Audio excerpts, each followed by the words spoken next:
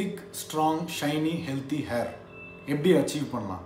நான் காஸ்ட்லியான shampoos use பண்ணுறேன் இல்லை நிறைய மெடிசன்ஸ் யூஸ் பண்ணுறேன் ஓகே அது மட்டுமே பத்தாது. இன்னைக்கு என்னென்ன ஹேர் க்ரோத்துக்கான ஃபுட் சப்ளிமெண்ட்ஸ் ஹெல்ப் பண்ணுன்றத நம்ம பார்க்கலாம். எக்ஸில் ஜாஸ்தி ப்ரோட்டீன் கண்டென்ட் இருக்குது அண்ட் எசென்ஷியல் நியூட்ரியன்ஸ் லைக் மெயினாக இருக்குது கோலின் அப்புறம் vitamin A D B twelve avocados அது வந்து very rich in vitamin E it's an antioxidant அது என்ன பண்ணுதுன்னா ஆக்சிடேட்டிவ் ஸ்ட்ரெஸ்ஸை குறைக்குது ஹேர் க்ரோத்தை ப்ரொமோட் பண்ணுது.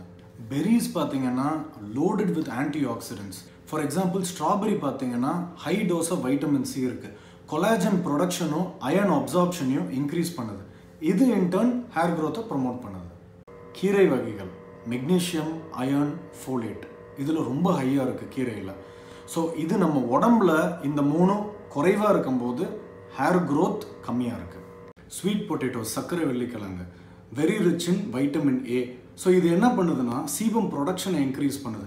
இன்க்ரீஸ் ஆகிறதுனால ஹேர் பிரேக்கேஜ் கம்மியாகுது. ஹேர் க்ரோத்தும் இன்க்ரீஸ் ஆகுது. கொண்டக்கடலை பீன்ஸ் பட்டாணி.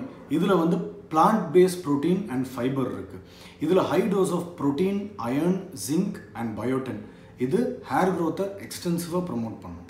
ஃபேட்டி ஃபிஷ் நான்வெஜ் சாப்பிட்றவங்களுக்கு ஒரு ரொம்ப important diet very high in omega three fatty acid and vitamin D it's very good for hair density okay இப்போ நட்ஸில் பார்த்தீங்கன்னா வால்நட்ஸ் பாதாம் பிஸ்தா ஃப்ளாக் சீட்ஸ் அதாவது ஆளி விதை வைட்டமின் இ ஜிங்க் அண்ட் முடிக்கு தேவையான கொழுப்பு சக்தியில் ரொம்ப ஜாஸ்தி இருக்குது.